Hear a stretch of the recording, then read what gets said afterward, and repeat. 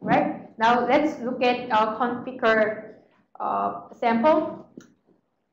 And the Conficker sample is one of one of the uh, uh, really common, common, popular, prevalent worm. I think it is uh, within like number five or number ten, within number ten, based on the Symantec report. So it uh, propagated really fast and infected you know, a lot of machines in terms of games of millions, which if some attacker can control, have a, you know, have a control over, then you can launch a DDoS type of attack.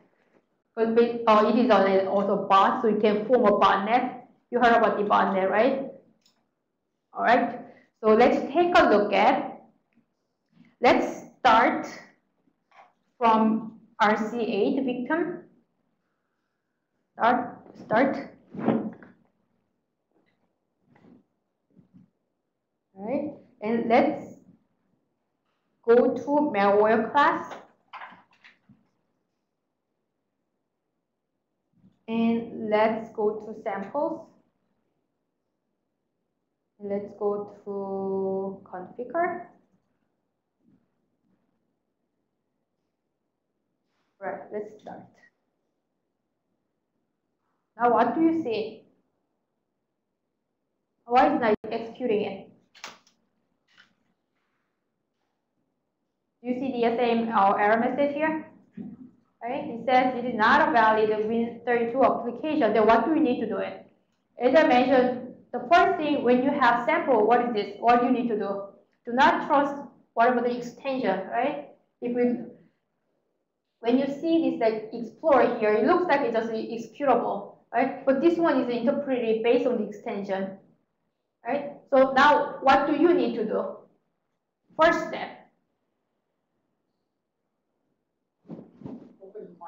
Maybe? We do open Wireshark? Right. We, we use one tool.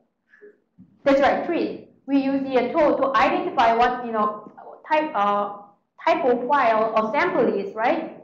So how about let's uh, you use the TrID and then you can tell me what kind of you know this file it is. Right? How about this? I'm not gonna show you here because we learned the TrID, right? And where is that? There is a uh, malware class and tools, and you have the tool here, right?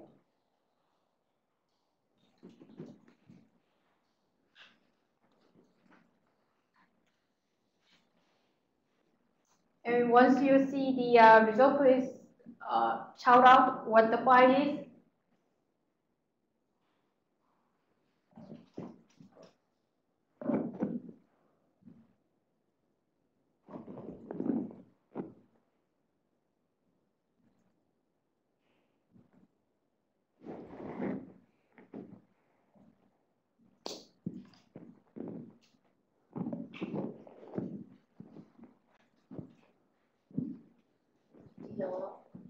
Yes, DLL, right? It is DLL. Can DLL run by itself?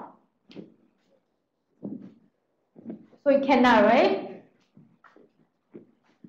So let's check here quick.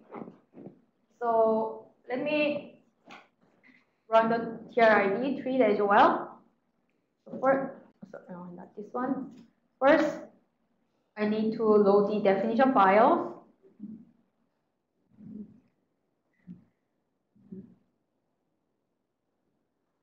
right? All definition file loaded and I need to open the sample. Right? It says, you know, the uh, has a 40% with confidence it is a DLL, right?